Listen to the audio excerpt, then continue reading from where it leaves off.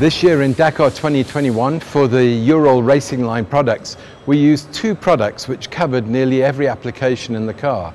For instance, the engine oil, which is very specific, the Zero W40, perfect. We uh, saw no problem with the engine at all. And then we used the transmission oil in the front differential, the gearbox and the rear differential. So a good product which uh, went through all the car. Having one product on Dakar which covers a wide variety of applications is really valuable.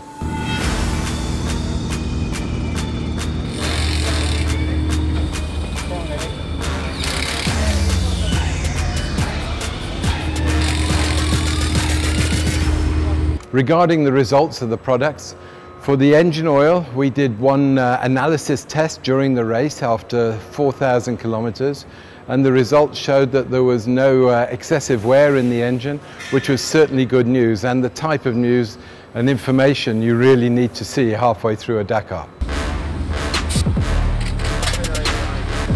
For the differential oils, uh, it's very difficult to monitor the actual wear during a race. So we only strip the diffs and the gearbox once during the race to inspect and certainly the wear was, uh, was really good and in line. Every Dakar is tough, there's no question. This Dakar in particular was very tough. The pace of the race cars during the race was more than we've ever seen before.